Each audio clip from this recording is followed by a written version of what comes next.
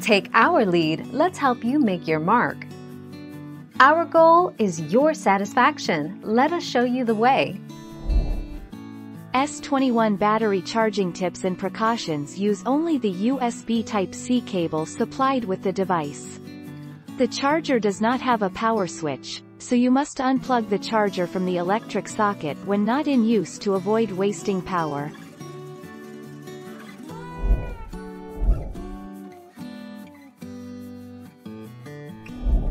Make your mark, take our lead.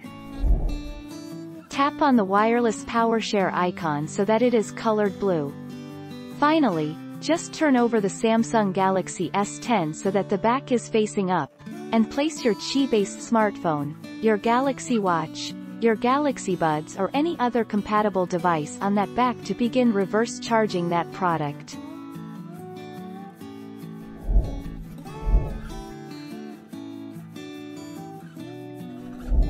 Make your mark, take our lead. As expected, the Samsung Galaxy S21 does not come with a charging brick in the box.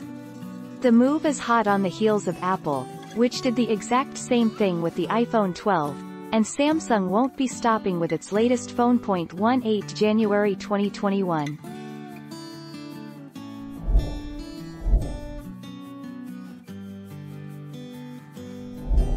Make your mark, take our lead. A new pair of headphones previous Samsung Galaxy S phones have come with AKG-tuned wired earbuds, but that's not the case with the S21 phones.